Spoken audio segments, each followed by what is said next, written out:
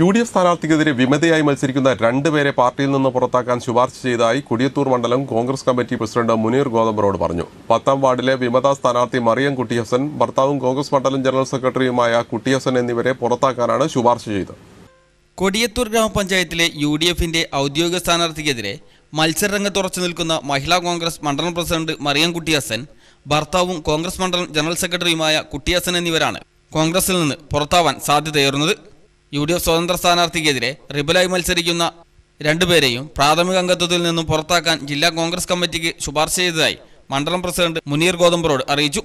ഇത് സംബന്ധിച്ച് കൊടിയത്തൂർ പഞ്ചായത്ത് കൺവെൻഷനിൽ block Congress president M T അഷ്റഫിനും ജില്ലാ സെക്രട്ടറി സി ജെ ആന്റണിക്കും കത്ത് നൽകിയതായും മുനീർ ഗോതമ്പറോട് പറഞ്ഞു.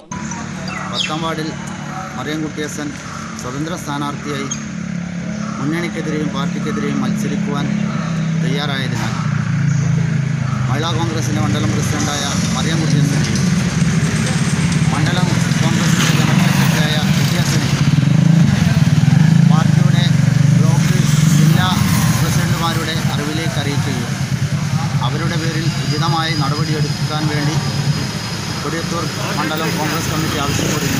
വർഷങ്ങളായി ലീഗ് കോൺഗ്രസ് തർക്കം നിലനിൽക്കുന്ന പ്രദേശമാണ് പഴമ്പറമ്പ് കാരാളിപ്പറമ്പ് ഭാഗങ്ങൾ ഉൾക്കൊള്ളുന്ന പത്താം വാർഡ്. ഇത്തവണയും ഈ തർക്കങ്ങൾ തന്നെയാണ് കോൺഗ്രസ് വിമത സ്ഥാനാർത്ഥിയായി മറിയം കുട്ടിയസൻ മത്സരിക്കുന്നതിലേക്ക് കാര്യങ്ങൾ എത്തിച്ചതും സ്ഥാനാർത്ഥിത്വം പിൻവലിപ്പിക്കാനായി നടന്ന അവസാനവട്ട ശ്രമവും പരാജയപ്പെടുകയായിരുന്നു. കോൺഗ്രസ് നേതൃത്വവും യു ഡി എഫ് നേതൃത്വവും യു ഡി എഫ് സംവിധാനം മികച്ച രീതിയിൽ കൊണ്ടുപോകുന്നതിന് പരമാവധി ശ്രമിച്ചുവെന്നും എന്നാൽ ചിലർ ഏകപക്ഷീയമായി എടുത്ത നിലപാടുകളാണ്. പ്രശ്നം വഷളാവാൻ കാരണമെന്നും യൂത്ത് ലീഗ് സംസ്ഥാന സെക്രട്ടറി പി ജി മുഹമ്മദ് പറഞ്ഞു.